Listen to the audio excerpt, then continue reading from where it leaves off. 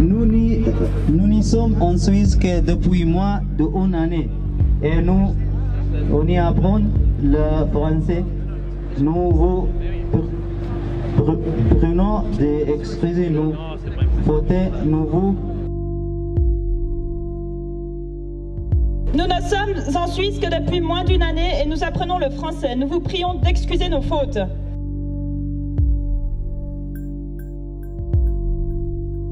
Nous vous remercions toutes et tous d'être venus nous soutenir aujourd'hui. Nous avons fui notre pays pour échapper à la torture et aux emprisonnements injustifiés. Nous avons traversé le désert et la mer pour arriver en Suisse.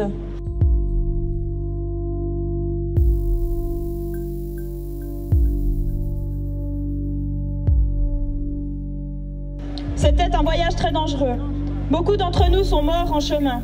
Nous étions tous heureux d'être arrivés en Suisse, qui est un bon pays. Lorsque nous avons été attribués au canton de Vaud, nous avons été placés dans des bunkers.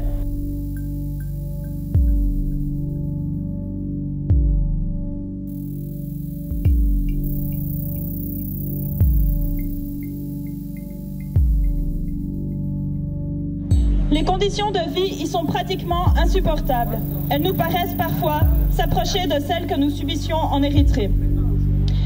Nous sommes épuisés, nous manquons de sommeil. La nuit, il y a tout le temps du bruit. Aucun d'entre nous n'a pu dormir une nuit complète depuis qu'il est dans le bunker. Souvent, nous ne dormons pas du tout.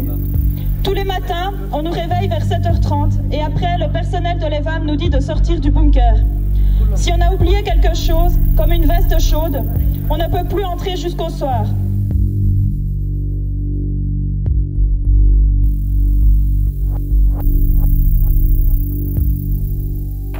Les structures de jour ouvrent plus tard et nous devons attendre dehors.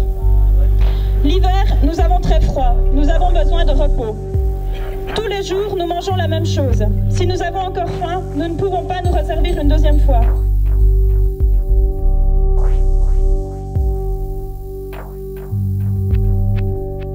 Nous utilisons une grande partie de l'argent que nous recevons pour nous acheter à manger lorsque nous ne supportons plus la nourriture que nous donnent les femmes. Nous n'avons plus assez d'argent pour nous acheter des habits pour l'hiver ou envoyer à notre famille. Nous avons besoin de nous vêtir et de nous nourrir comme des personnes normales.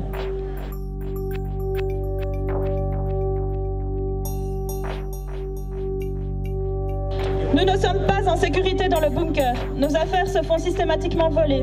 Il y a trop de personnes ensemble dans un bunker.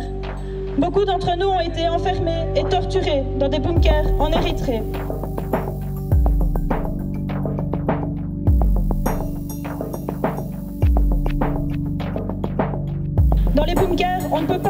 Choses horribles que nous avons vues. Nous avons besoin d'un logement calme et sûr.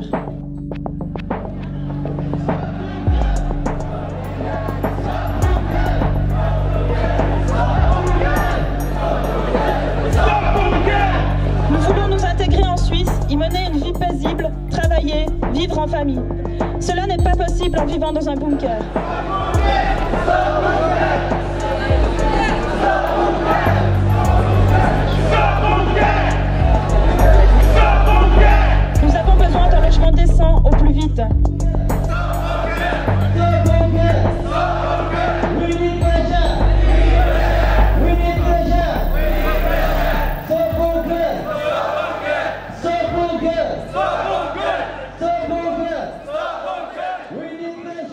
Sera pas le cas, nous demandons à les femmes d'appliquer urgemment des mesures améliorant les conditions de vie dans les bunkers.